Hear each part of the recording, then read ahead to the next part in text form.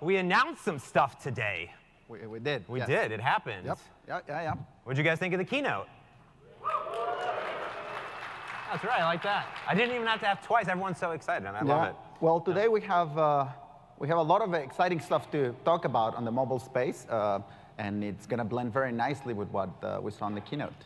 I like that. I should probably change Right. the PowerPoints, huh? All right. Yes. Yes. Oh, there we go. Oh, there's us. All right.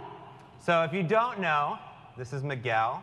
He's Hello. a lovely, lovely human being that has graced our presence on stage multiple times here at Build. Uh, and I mean, this is super exciting for me. This is not our first time on stage. Build two years ago, we showed off some amazing applications that we built from scratch with the team uh, at Xamarin.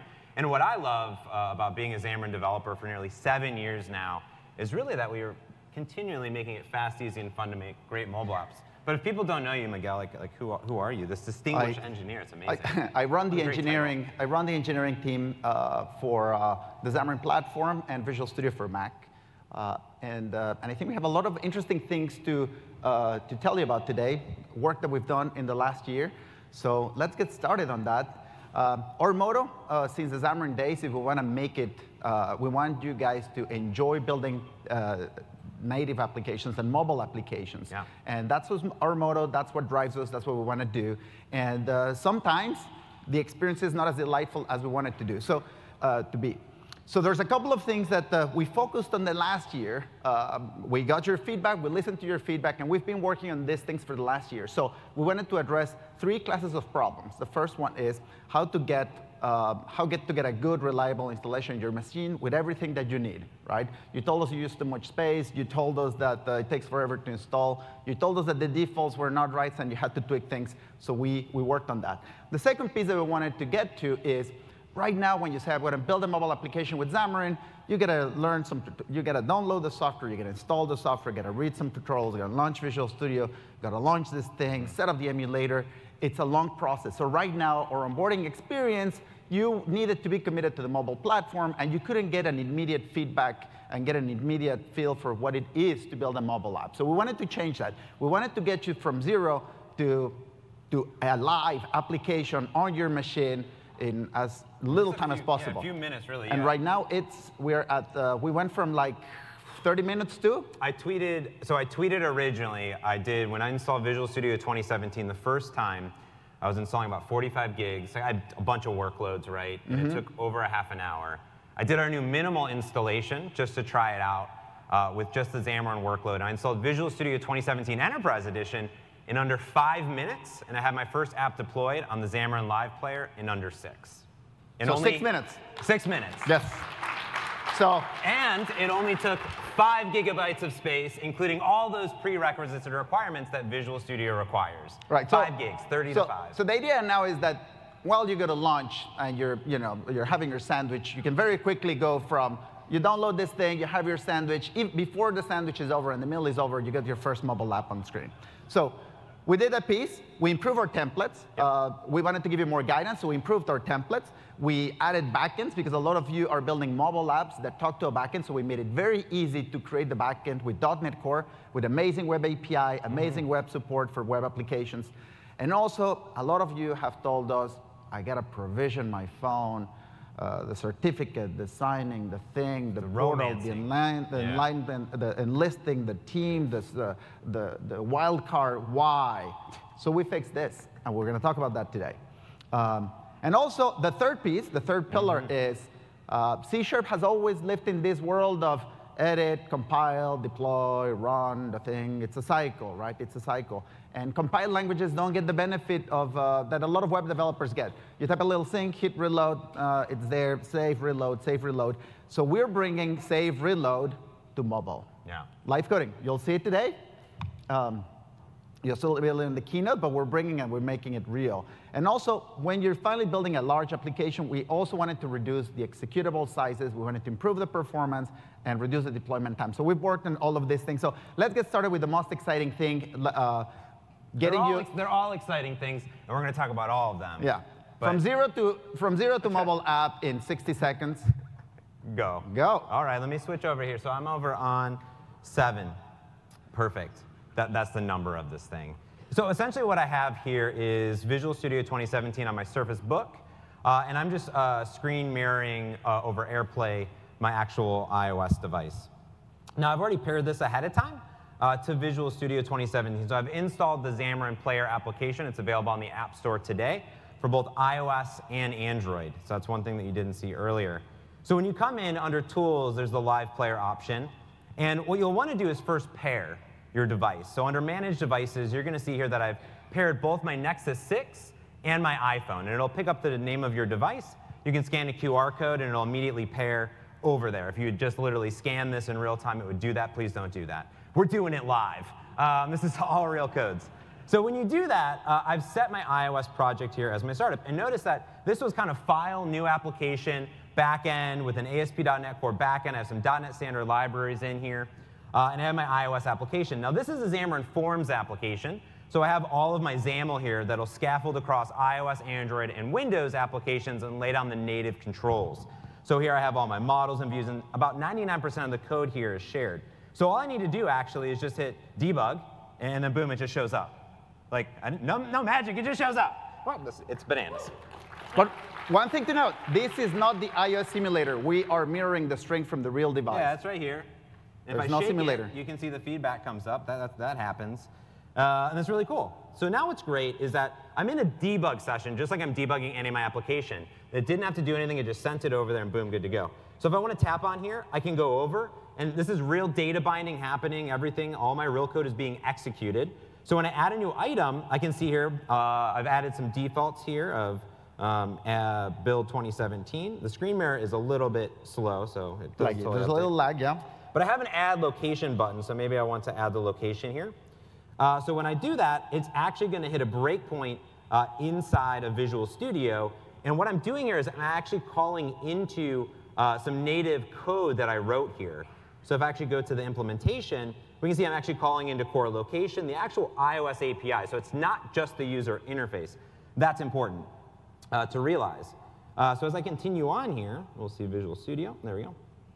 We should come back, and my location should maybe update. We'll see.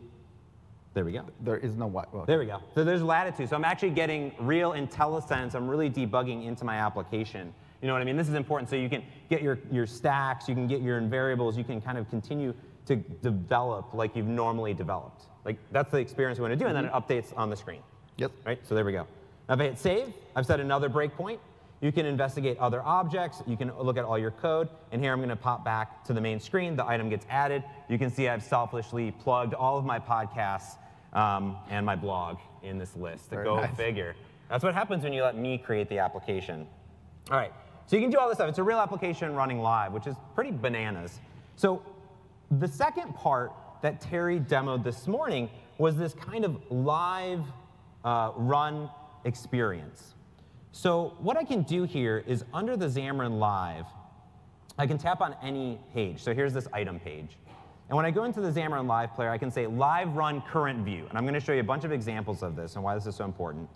And when I do that, it just sends the current view. Look, there's no Chrome, there's nothing like that. It is the current view that I'm currently um, updating. So that means uh, if I come into my, my tooltip over here, I can go up and, and add, you know, I, I really like Terry added a very fancy uh, thing over here, and then it just updates. There it is. I didn't hit any buttons, didn't do anything, it just updates. Uh, if I want to come in and I want that to be uh, red, see, I'm still actually getting my IntelliSense, I'm just modifying my code, and when the buffer is ready uh, here, it just boom, it updates automatically. So I don't have to do anything. I can modify the XAML. I can modify C Sharp code. I have a question. Did you hit save? I didn't hit any save at all. I just typed some code. So let, let me type it. Let me type okay. it. So we're going to oh, count the goodness. fingers. So one finger. Right. So you see that I'm not, not tricking this. OK. G R E E N. Boom. I didn't press Control S. Very nice. Very nice. OK. Uh, because I have to say, I thought you had to hit Control. No, yeah, I'm, I'm in that Sorry. I'm in that uh, always Control S state of mind. So that's super cool, and I can update anything. Now, let me show you what this would look like, of course, on an Android device. So I think that's super important to show off. So I'm going to go ahead and close that down, and let's go ahead and stop uh, this AirPlay over here. Turn that off. Cool. So I'm going to go ahead and screen mirror my Android device over here uh, with Vysor, which is a great, great, uh, awesome application. It's actually built in Seattle, I think. It is. Yes. It is. All best things come from Seattle, including the best coffee across the street at Monorail Espresso. Um, bring cash, it's cash only, burnt cream latte. Uh, pro tip, just pro tip. So I'm going to set Android as the startup and realize that I actually have this uh, plugged in, so I see my device, but see it's named the Nexus 6 player. So when I tap on that, I go ahead and, of course, launch the Xamarin Player application, go figure. Uh, this application uh, here, the Xamarin Player application, was, of course, built with Xamarin, Xamarin Forms specifically. I got to work on it, which is really cool. So let me go ahead and find my debug menu, Visual Studio Hide and stuff. I hit debug, and now it's going to connect right over here because I've already paired it. And it's going to take a few seconds uh, and essentially send all my bits across the magical network that all of our friends here have connected to. And probably not rotate it. Here we go. Oh, there we go. Now we're in debug mode. Boom, there it is with all of Miguel's beautiful changes that we saw. I can tap on an item, I can go back and forth, I can add a new item, I can hit save, and I'm hitting the same breakpoints that I did over on iOS. Pretty cool. So no matter if you have an iOS or Android device, that's all you need. But wait, because I'm going to show you this that you didn't see this morning. If I can figure out what number this is, eight. Which, which one are you nine? looking for? Nope, not that one. There were stickers yesterday. Nope, there were there stickers. are no stickers Six? today. Is it six? Okay, cool, awesome. So here's what I have. I have Visual Studio for Mac, because of course, if you're a Mac developer, we want to have the same exact experience that I just showed you. So I have a different project here. Uh, I showed you Xamarin Forms, but I wanted to show you a Xamarin native application. Uh, this is a master detail application. I, I did some code behind here. Uh, so what's cool is I've actually come in here. I can see that I have uh, the, my iPad paired here. In fact, if you go into your devices, you're going to see a very similar setup. Uh, here, I'm just uh, screen mirroring my iPad. I'm going to hit run, and I have a full master detail application. It's very simple. I just add a bunch of items. I can go ahead and set the screen inside of here. I can modify some things around. What's cool is I can come into uh, the single screen, though, and modify this as well. So when I go into run, hi, Miguel. This is new to me, guys. Yeah, this is paired I've never seen this demo best. before. So here I've populated this list that you're going to see over here. I'm just going to rotate it. There we go. It's You an want to hold it? Yeah, can you hold that? All Yeah, right.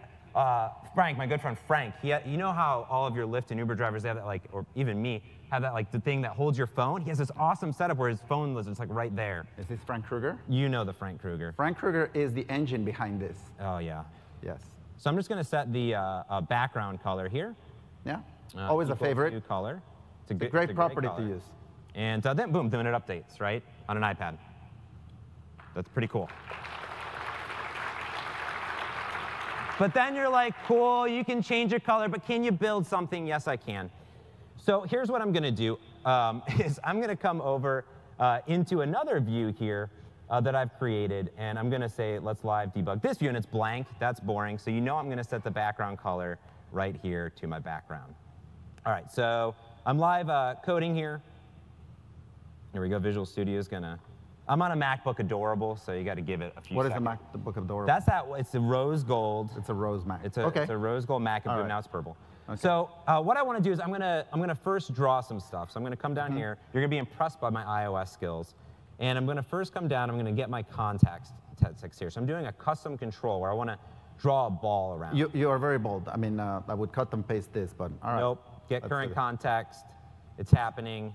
Uh, we're gonna say background dot set color, boom, and then we're gonna say UI color dot white. Mm-hmm. And there we go. Dot Set color? No? Nope. Set background? Set fill? set fill. Yeah, No? you know. There we go.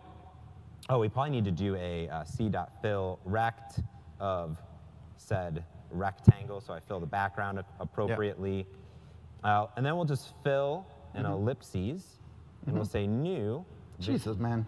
I know, new. Well, what you're saying, what you're saying right now is we just changed the defaults on code completion on it's, Visual Studio for Mac It's blowing my mind. to match the ones on Windows. And if you're a Windows, uh, if you're a Mac user, uh, you, there's, so what's happening right now is, is uh, James is getting adjusted. I'm getting adjusted. It's very. All right. And you can see I'm actually writing tons of typos, and yet the application is still working. Now I have. Oh, it is, it is. Oh, it's Jesus. totally working. right. There's a ball. Okay, you guys should. And should that more code, why not? So what I'm going to do here is I'm going to say I'm going to get my touch, and I'm going to say touches that are passed in dot uh, location. Oop, touch or sorry, touches. I think I got to array Okay. Uh, and we have to cast these things to a UI touch thingy, because why not? Frank told me to do that. He said it'd be a cool demo. Uh, he also told me not to type all this code, but it's okay. Dot touch, uh, dot location and view, and we'll say this, boom. Uh, so now what happens is when I come here and I just, and I just, and I just, uh, did I do it wrong? Help me. Grab and touches. I did set set. Oh, set needs set needs display. Display. Duh. See, I wrote some code, and when you write the code not live, then boom, it doesn't. No, all right. So then uh, uh, move it, and then it updates. It's amazing. It's so I, I, am, I, am, I am continuously just iterating on my application. It's Xamarin Forms, Xamarin Native, iOS, Android, custom views is spectacular. That's my demos. Boom. Boom. All right. Boom. That has been a huge undertaking. We know you're going to love it. We have documentation. The apps are live in the App Store for both iOS and Android. Uh, we want your feedback. There's literally a feedback button. We have an email that comes directly into my inbox. I don't know why I did that. Uh, it was a bad idea, but let me know. I promise to respond to uh, some of them. Else, I will forward them to Miguel, and he will handle Yes. it from there. Well, I think that Oh this capability is unique right now to, uh, to, the, uh, to Visual Studio. It's a capability that nobody else has, this live Android development, iOS development, live development, compilation, access to NuGets, all this technology. Um, we're beginning. It's going to only get better. So this is a preview. We want to hear your feedback. So let's go back to some of the things that we're doing now. Uh, is that the Boom. on fundamental improvements. So we have a lot of things that we've been doing in the last year, and we want to share some of those. And we're going to go very quickly here. So first of all, we're very proud of our tradition of supporting the Android and iOS SDKs the day that they come out. And we're also very proud that everything that you can do with Swift, Java, or Objective-C, you can also do with C Sharp and F Sharp. In fact, let me tell you a little secret. These players, these players that you just see live, were built with F Sharp. So some of us love F Sharp, and that's what we used to build it. How many F Sharp developers? All right. That We need to be F sharp proud, gentlemen. Every time All I see F Sharp, it blows my mind. It's unbelievable. I'm gonna just keep writing C Sharp. That's what I keep telling Frank. All right. It's so good.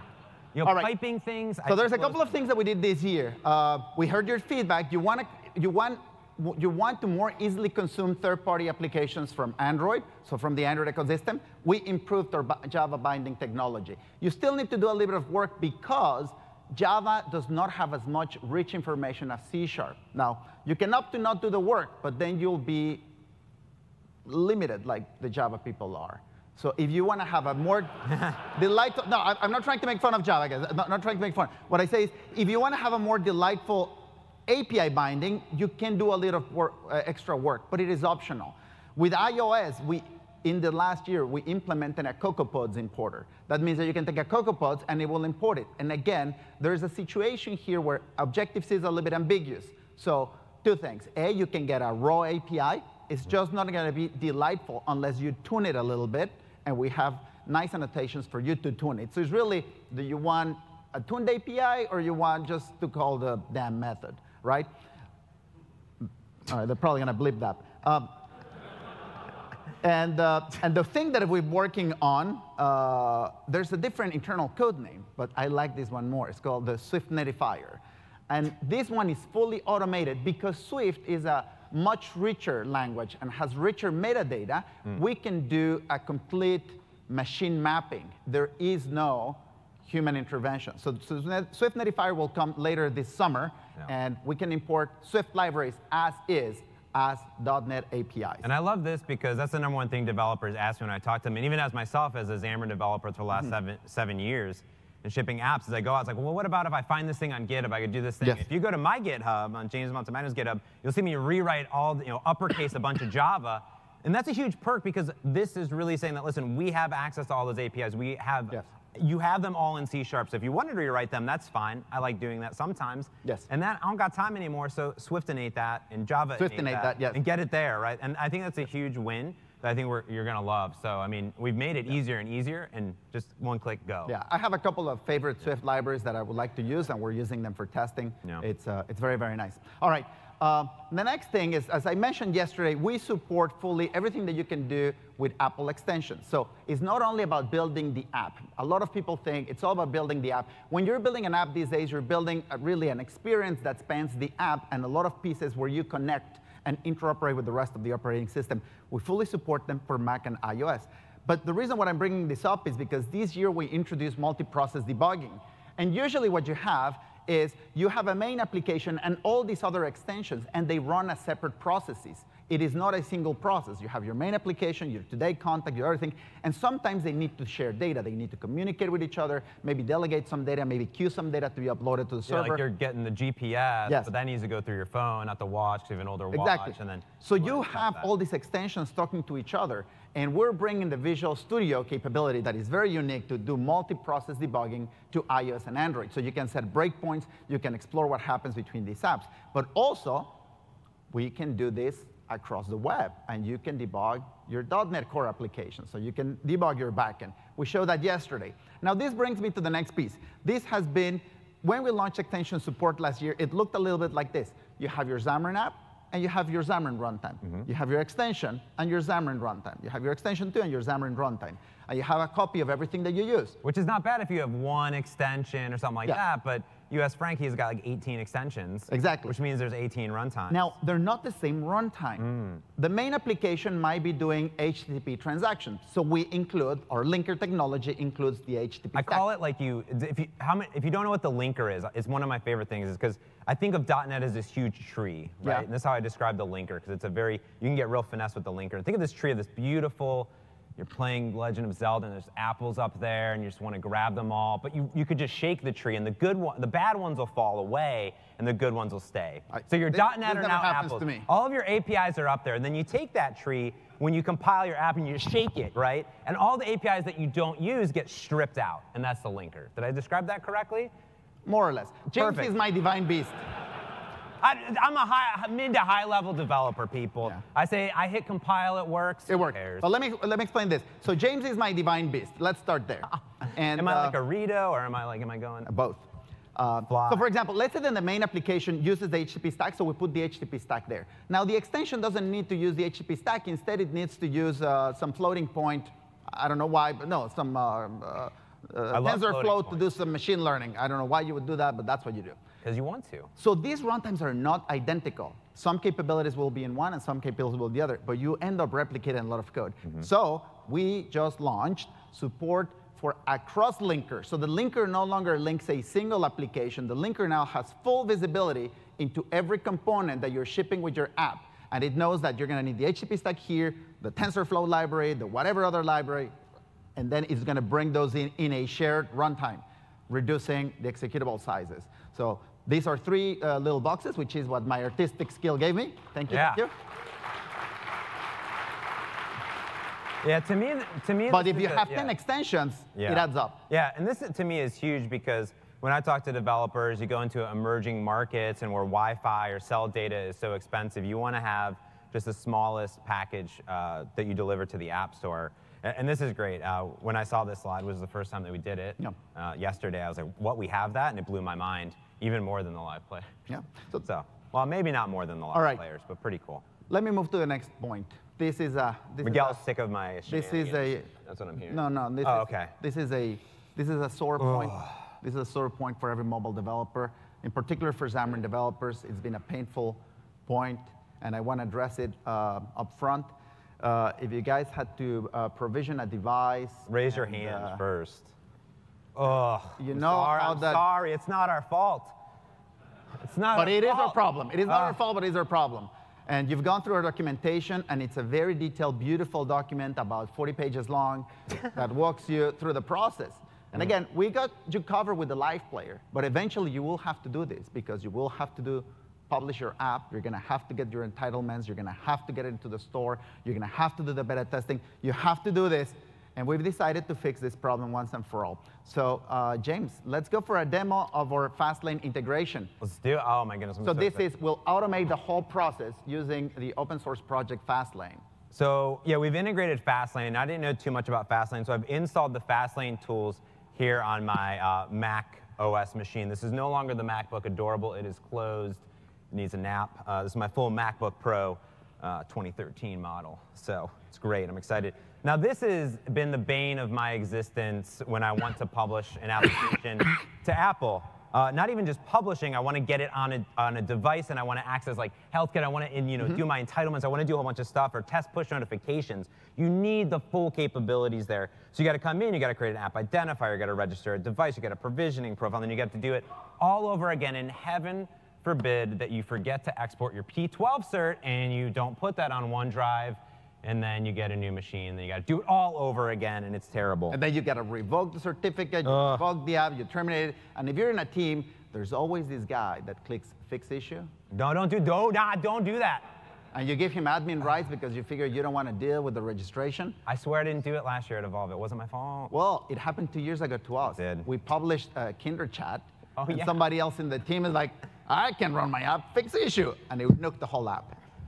Uh, After, the day after the app was not, what, what happened? What happened? Someone clicked fix the issue. I don't trust the magic fix button. it's great. All right. All right. So here we go. So uh, this is this is my MacBook Adorable here. I have one registered for production and that, but I'm on my MacBook Pro. I want to get up and running. Uh, I'm gonna just go ahead and say new project, and I have my that same iPhone uh, Mm-hmm. over here. So I'm gonna go and create just a new iOS application, single view app. Uh, here we go, and I'm gonna call this build 2017 awesome app. I, I would just assume maybe I didn't register that. Now here's new. Let me zoom in. Okay. Whoa, zoom technology. I can select my team, and you can see uh, here that Miguel has given me a lot of Xamarin um, power, but we're not going to use that account because we don't want to mess anything up. We don't wanna So that. I'm going to use my personal account because that's great to do uh, live. So Yep, and uh, here we go. I'm just gonna go ahead and create this app, hit next. Now that's new, selecting a team. I've logged in with my Apple account, it knows this stuff on my machine, I'm good to go. Uh, I'm just gonna hit go and zoom back out. So this is just file, new application, and, and I've gone through this process uh, a bunch of times where I wanna put it on a physical device. So uh, I have my device plugged in, I'm gonna put it uh, here, there's all my simulators. There's my iPhone, and I'm like so excited for development. And then I hit go, and it's gonna compile. I'm like, whoa, it's compiling, and it's like it's happening. It is happening, it's yes. yep, you can look. It's it's happening.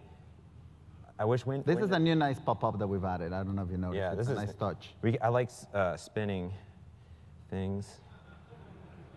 Oh, it moved. Oh, and then I get. Oh, it wants my keychain. Or allow. I go, Okay, sure. Right, so it's signing your application. Oh, it already installed it. Oh no, there we go. It couldn't do it. Oh, You know why? happened? And look at look at how close it got. It got so It got so close. And then it's like, no, you know why? Because I don't have a certificate and this machine's not registered to put on a All device. right, let's read the 40-page document. Okay, so I'm gonna go and we're gonna Google this really quick. Um, and we're gonna go Xamarin. You were in Google already. iOS, device provisioning.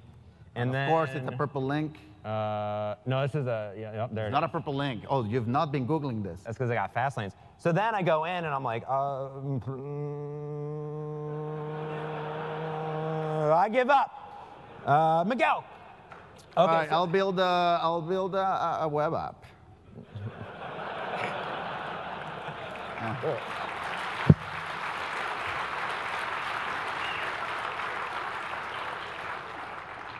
so here's what you do. You go into options and uh, you go down into your bundle signing. And there's this team i'm going to zoom in real close for you here.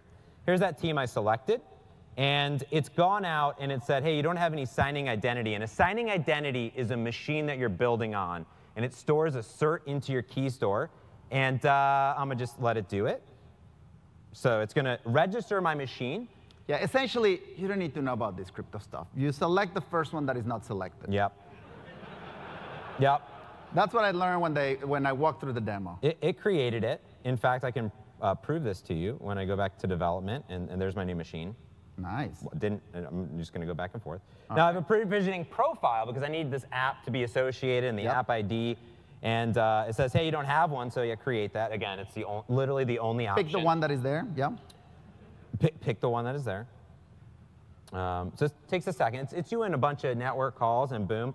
Oh, okay, so now I have this Visual Studio Build 2017 awesome appy uh, development uh, here.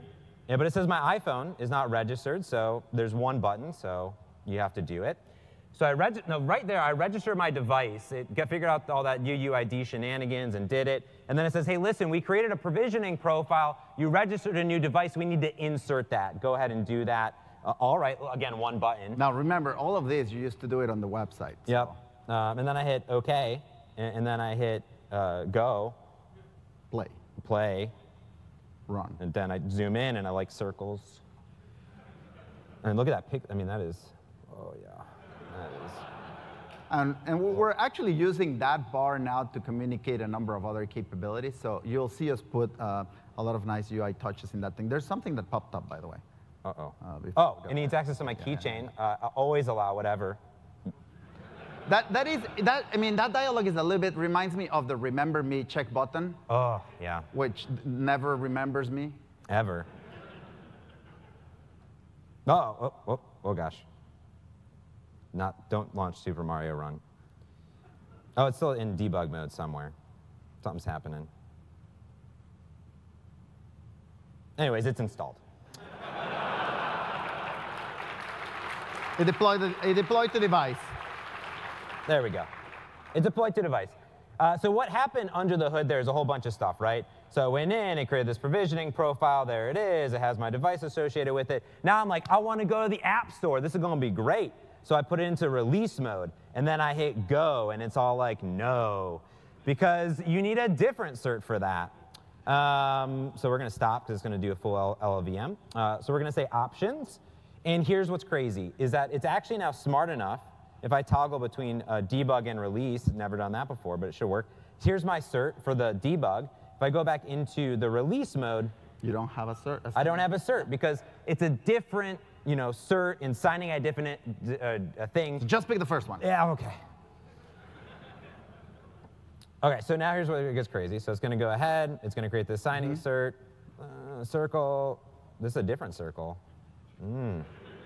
Yeah. Did it. Look into that. Did it. Profile. Now I'm creating a one. provisioning profile for the App Store. I don't need to register my device because I can't even put it on my device because That's right. It needs to be approved by Apple, so not so for now device. I go here and then I come in and I say, let's uh, archive this puppy. Now what's going to happen at this point, it's going to take that new provisioning profile in release mode. I'm going to a device. It's going to compile up, do a full LLVM compilation, do the linker, do all this stuff. And while it's doing that, we can look You have to zoom out. Something's going to pop up. Something's going to pop up. So when we do, Oh! we know it's always allow. Um, okay. It's just like remember me. Now, here's what's really awesome is that we have this auto archiver, so I can go in and it saved all of the assemblies, everything here. And when I hit sign and distribute, I can go to the App Store right from Visual Studio for Mac, and it saved everything that I just automatically provisioned in just a few minutes, and I didn't ever have to go to the portal ever, and I'm good.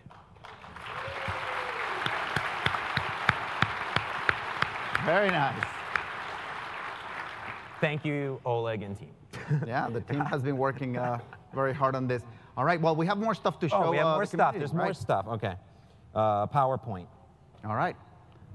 Oh, I'm talking. So I'm a huge Android fanboy. I just am. I can't help myself. Miguel can't talk me out of it. I just love giving data everywhere to everyone and hitting always apply for everything.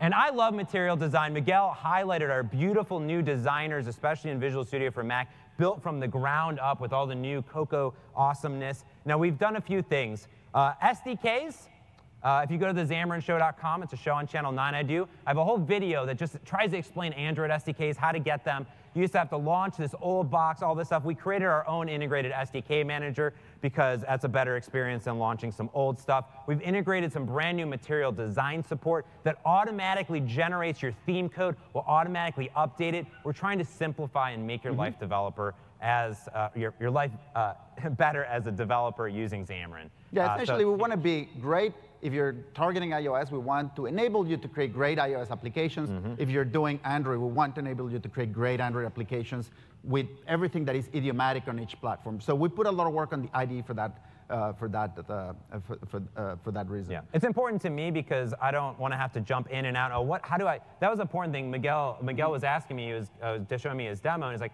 "How do I change the button color?" And I go, "Button." Right, and, and that actually maps to some like crazy Android button thing, and it creates a custom thing in the theme. It's really great. And, and what's nice here is I have to go to, I used to have to go to materialpalette.com, and I used to have to find my hex colors and do all that stuff.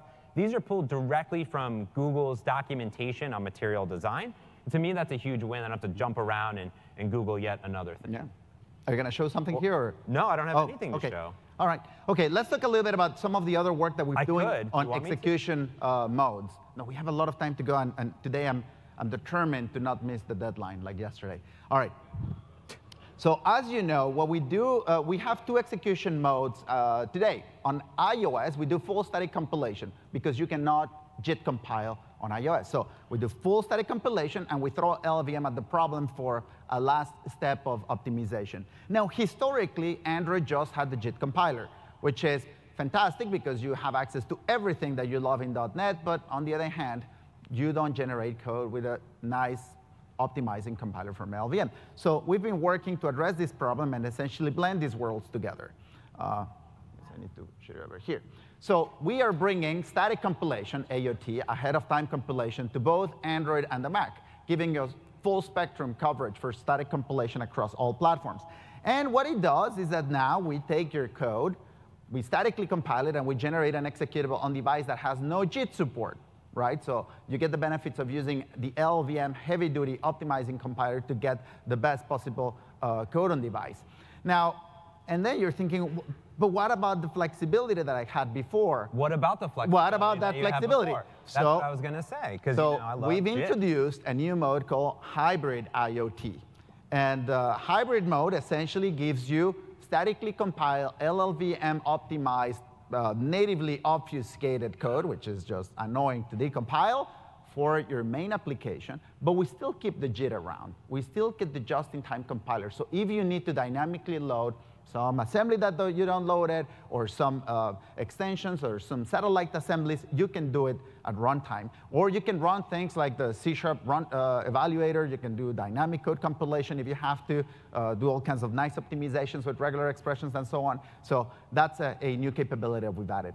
Now, let me switch to the work that we've been doing on cross-platform API. So that's what we've done on the core frameworks. Now let's talk about the APIs that we give you that allow you to write the code once and use it on every device. And this means Android, iOS, tvOS, yeah. UWP, Windows WPF, WinForm. So yeah, I would say, and, and with this, you know, it's a huge win. Is mm -hmm. is as I have a session, a, a, little theater session tomorrow on plugins for Xamarin, which is kind of like the platform-specific APIs. Like, oh, take a photo, check connectivity. I had some in this app, right? Yes. And we've abstracted those already, and that's really community effort that's out there. But I think as I was creating these plugins, you realize that there's a whole lot more that yeah. you can do. And some of those native capabilities aren't even exposed or available. And, and you say, well, I want to do things like, you know, draw stuff and do like a whole bunch of custom yep. stuff, like everything like HoloLens. I want to do like, you know, AR, VR. And the problem is you got to go learn that stuff multiple times. Yes. And exactly. you know, .NET is your ultimate cross-platform API. Mm -hmm. So mm-hmm. when you think of Xamarin and cross-platform development, you have this huge thing called .NET that I found a decade ago, fell in love with, made my whole career on it, and it was the best thing that ever happened to me since yeah. my girlfriend that is now the new best it's the new best thing. Yeah. So let's talk about some of these things so. because these go beyond the, the, the, plugins. These are relatively large investments. I want to talk about this. I talked about this last year, and they've been incredibly well received. Get it? Yeah, it. Mm, all right. There you go. So first, we heard you. You needed 2D graphics across the board. That means manipulation of bitmaps, images, scaling, vector drawing, text rendering, high-quality text rendering, uh, Bezier paths, uh, vector graphics, all of this stuff. So we have this in the form of Skia Sharp. We have coverage across every platform on the world. Neurons everywhere, server, desktop computers, everywhere. And the thing that is interesting about Skia Sharp is that Skia is the engine that powers Google Chrome. And it's also the engine that powers every pixel that goes into your Android device. Every little dot on that screen went through Skia. So we're making, we took that library and we made it available across the board on every single platform with the same API. And also, we just recently added, due to customer pressure, that means you guys email my boss, we added SVG loading. So I think you guys are going to be happy about that. So you can take your SVG file and load those puppies up. And we have an entire, you showed it yesterday, a fully open source Yes. Skia Sharp designer. Yeah, we have the a kimono designer. I had- had uh, Kevin on uh, to talk about how he created it. It's all open source. Yeah. It's a beautiful uh, Xamarin Mac application, and you just draw. You draw circles and shapes and import stuff, and it just like here's the code. Here's the And it generates the code for you. Right. So And this works in Xamarin Forms too. So it's Skia Sharp not only just works if you want to plop that in your UWP application or your Xamarin iOS app, but you can also then put it into a Xamarin Forms application Yep. and boom, one Now- line of code it does everything for you. It's bananas. So that's 2D. Now let's move to 3D because a lot of you need 3D content. Now this is a little game that we built, doesn't matter. What matters is that now you have 3D models, you have creators update. There's a lot of 3D content out there, a lot of 3D content that you want to use. You want to put it on your application. You want people to work with it. Maybe you want to put some models in it. Maybe you're selling cars and you know how to rotate the car. Maybe you're building a, a shopping app. With Creators Update, you want to have a technology that does 3D across the board. So this, uh, this became very relevant. So we have this 3D engine called Urho Sharp. Again, goes to every single platform, every single environment. But most importantly, it goes to every AR and every VR device, from the cardboard boxes to the mixed reality that was shown today on stage and was announced a couple of weeks ago. So it is very comprehensive. We're very happy with it. I have a couple of quick videos that I want to show you. This is uh, Sharp running directly in the new environment uh, on the mixed reality environment, the shell that, uh, that was launched a couple of weeks ago. And this is a little app that we built on HoloLens where the application is actually using your cell phone as a lightsaber. So you use your cell phone as the controller. Um, so this is a very cool app, and it's a, it's a minimal app, really. Uh, so the Xamarin, the Xamarin app on the phone is using uh, the gyroscope Yep, and to tell you where it is, yep. and it talks to the HoloLens to project this on, uh, on the screen. And I think that's important because it's not just, right, it's not just the device on your head. Yes. It's how can we connect and you're controlling something, or if you don't have those controllers, here's a device in your hand. We have a theater session uh, that talks about this. Yes. Urho Sharp, and uh, I encourage you to go there because we have beautiful workbooks and beautiful demos of this technology, how you can get uh, up and running very quickly. Same experience as the players. You start, you start coding, and this is live projecting either on a HoloLens device or a VR device, or you can project it on your PC and then take it home. The other thing that we've done is that all these devices, all these mobile devices, need to send usually a lot of data to the server. So sometimes you want to send all this data. So we brought the uh, Azure uh, libraries for IoT. These are two messaging libraries. Uh, some people have strong opinions about which ones to use, MQTT or AMQP. We support them both. The both libraries that you tend to use on these devices, we brought them to Android and iOS and every other platform. And those are message queues. These are message queues. Yeah. I, I, I originally this slide just said MQTT AMQP, and I said, What is I'm gonna have to Google that. I, I forgot about that. Yes, we edited this slide, and then there was a message mix-up, queues. And my slides got lost, and Oh, I had to redo them. Yes, you, you, you didn't know about this. I did not Um, know about this. I like the logo though. It is nice. It's the Azure logo. So this integrates with everything that you saw today on Azure IoT. So if you need to send telemetry data, there's nothing better to use. The second piece is that we've added new IoT projects.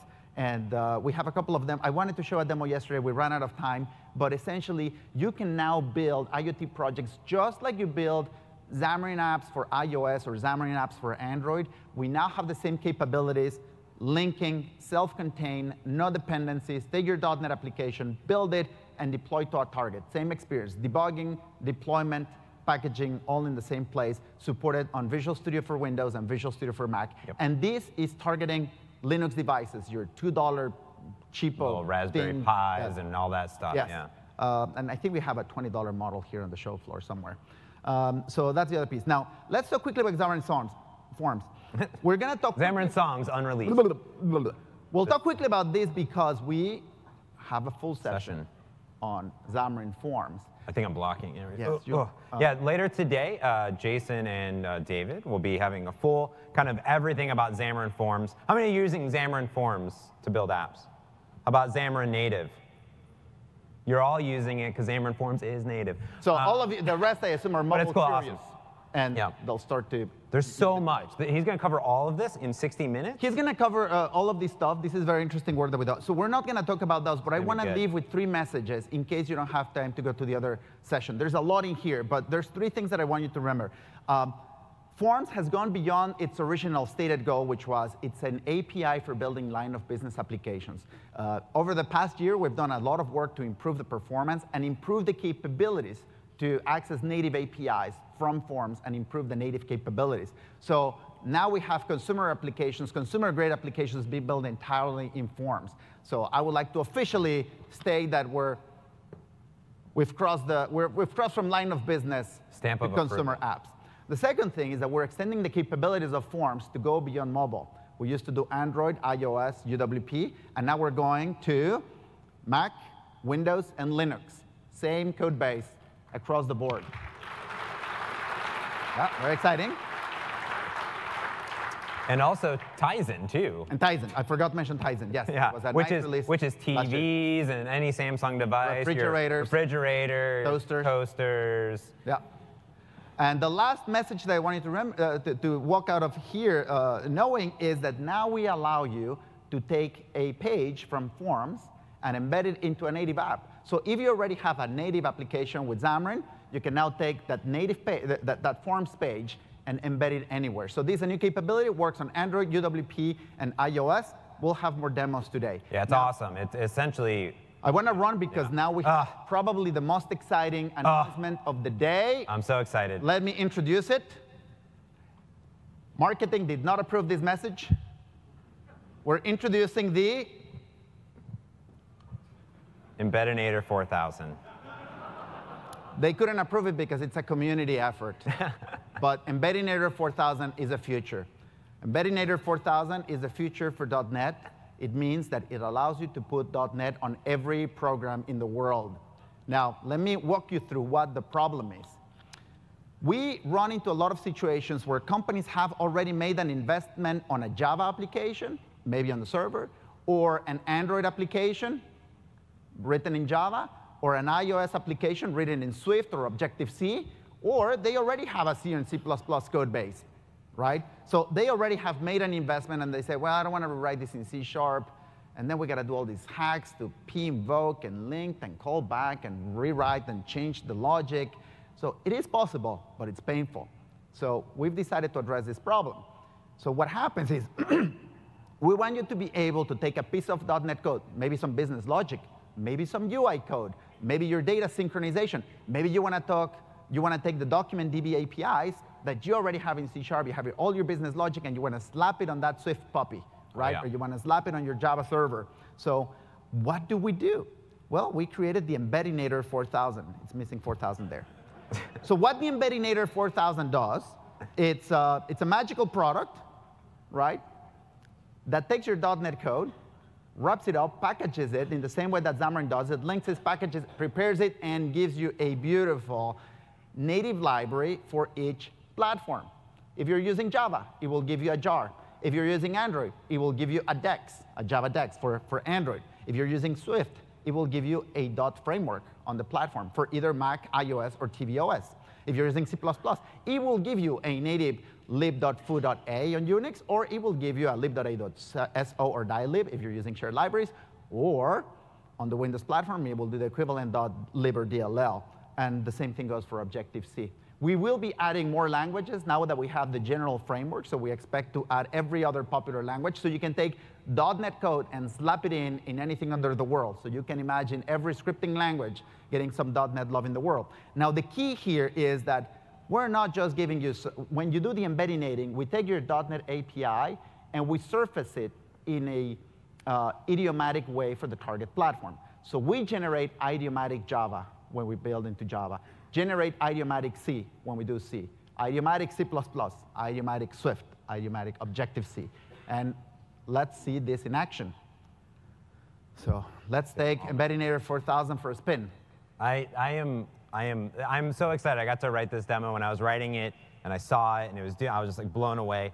Uh, because I've talked to so many developers that have maybe moved and said all of our new applications are written in Xamarin, but they have all these legacy projects, and they're like, how do we share code? I got to rewrite C++. No one wants to write tons of C++ ever. I wrote that. I did that. I found C Sharp. I'm good. Yeah. So here I'm inside of Visual Studio for Mac, the same exact one that I literally just showed you.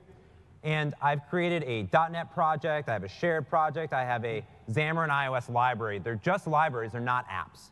And what I wanted to do, you know I love weather, and you know it's probably beautiful here in Seattle, so I figure we can you know, figure out if it is. So I have some just C-sharp classes, so I have the XAM weather result, uh, temperature, city, state, text, anything I pass in, and I have this weather fetcher. that goes out, I can create it. It's going to call this Yahoo API to essentially pull down the weather. Uh, here I've brought in some references uh, into this project. So I have system core, JSON, XML. I could add more references uh, when I tap on that, so access any of this goodness that's in here.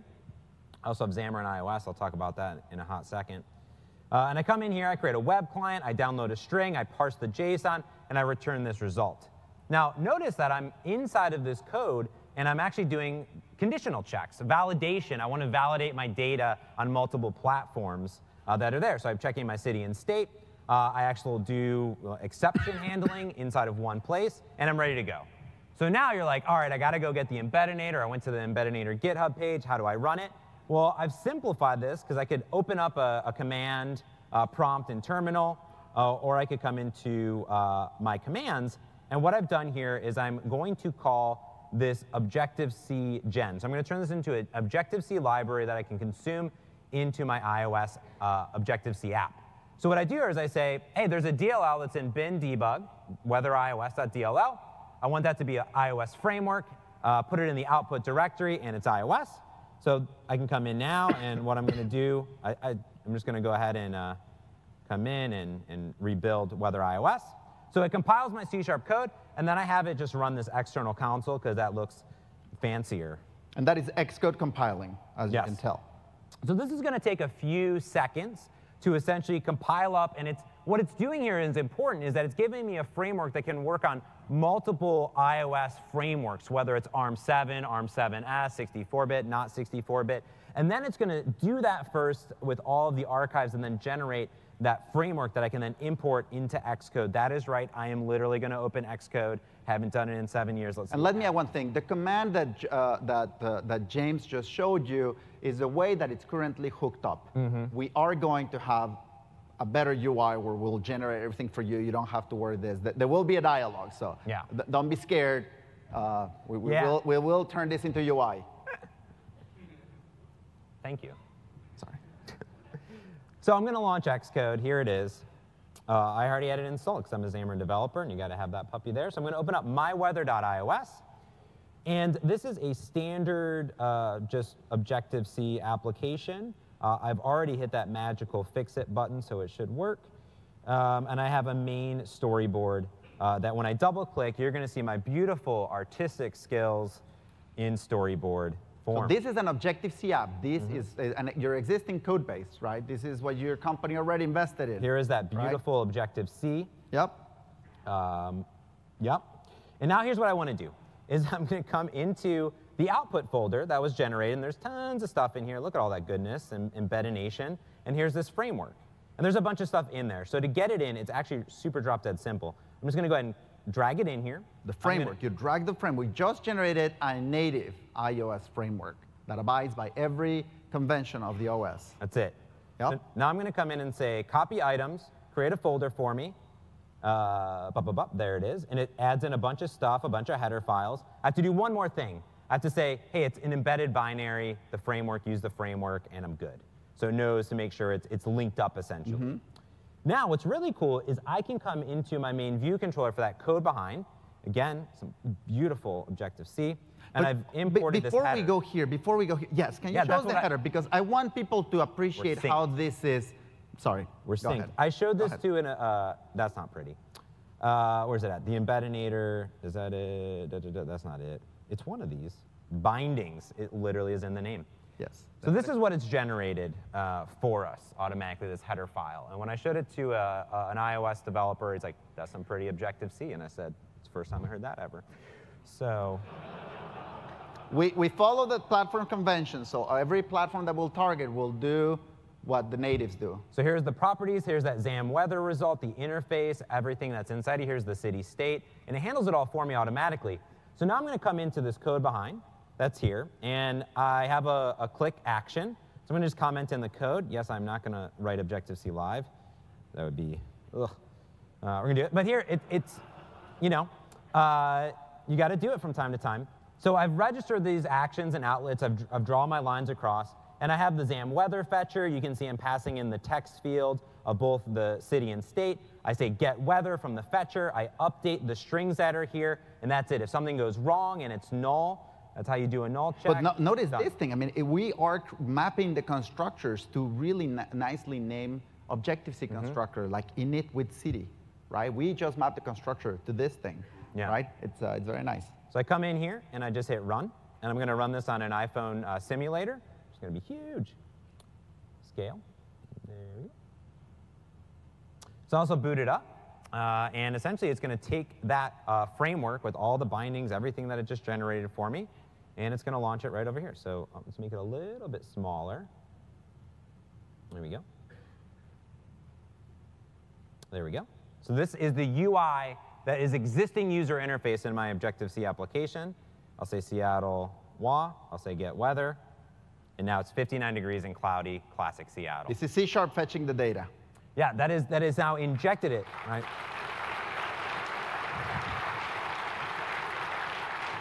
But I, but, but, but I think it gets better. It does get better. It does get better, uh, guys. It does Because get better. then you're like, you know what? I'm a, a C-sharp developer. I would love to contribute some user interface to my applications, or even It's just a lot easier to write C Yeah, Sharp. it's a lot easier to write C Sharp, even code behind UI. So I could take this, this exact same project, put it in a Mac application, an Android, like Miguel said, but I'm, I'm interested in sharing some, some user interface. From UI code. Now, I didn't do the new forms embedding or anything like that. I, I like some, some, some code behind here. So I'm inside this iOS project, and I said, wouldn't it be cool if not only could I share .NET code, but I could access native iOS APIs inside of this library? So I have this. I have a weather view, and this is much. So notice this, this at. weather view subclasses UI view. So we are subclassing a native iOS UI view, and we're creating a view, and we're gonna surface it. We're going to surface it up. So I have all my views. I'm also bringing in core location. And I bring in a geocoder to do a reverse geolocator uh, to pull the address. So inside of here, I just create a text field. I create some labels. I'm using beautiful eventing for touch-up inside events. Mm, I love it. I'm actually setting the properties of those native controls. If I go down, I have a get geolocation button. I'm going through, and whenever I update the geolocation, that's down here. I go in, I do a reverse geolocation, and then I invoke on the main thread to update the user interface. Sounds good. Everything there. And I have this beautiful UI stack view, which is this is the first time I've used it, and it's way awesome. Uh, so I've already added this code. So here's what I'm going to do. Go back into Xcode. And now what I'm going to do is go back into my view controller. And up top, I decided to hack the planet uh, in this Objective-C. So what I'm doing here is for demo purposes, but I could essentially add this view now to anything. So what I'm doing here first is I'm removing anything that was in that storyboard, just for demo time. And then what I'm doing is I'm creating that new weather view. It's beautiful. I'm allocating, I'm doing init. I'm going to make uh, the frame uh, about 60 down or so, and then I'm going to add it as a subview. So remove the current view and add it here. In general, you would just add the view. Uh, and that's it. So now what I can do now is just run this uh, again, stop debugging, come over here. There's my simulator. Yeah, Simulator's the other one. Oh, there it is. Cool. This is my new user interface, completely generated from C Sharp, but also accessing native features. So if I go in and say get location, it's going to get my geolocation, output it, and say it's 65 degrees and partly Very cloudy nice. in Cupertino.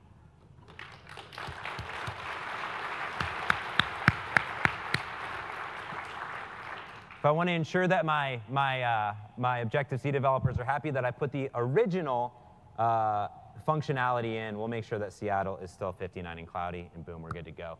Now that's really important, accessing and sharing .NET code across anywhere, but also the ability to create that iOS uh, DLL with all of your .NET and access those native features. I think that's so crucial, and I, and I simply love it, and I'm so excited. All right, thank you. Well, uh, this, uh, this is the end of our presentation. Um, we, we're very happy that you came. I think we have a minute for a question, so we can get one or two questions in uh, if they're pressing. But if you don't, you can give us a big round of applause because that was awesome.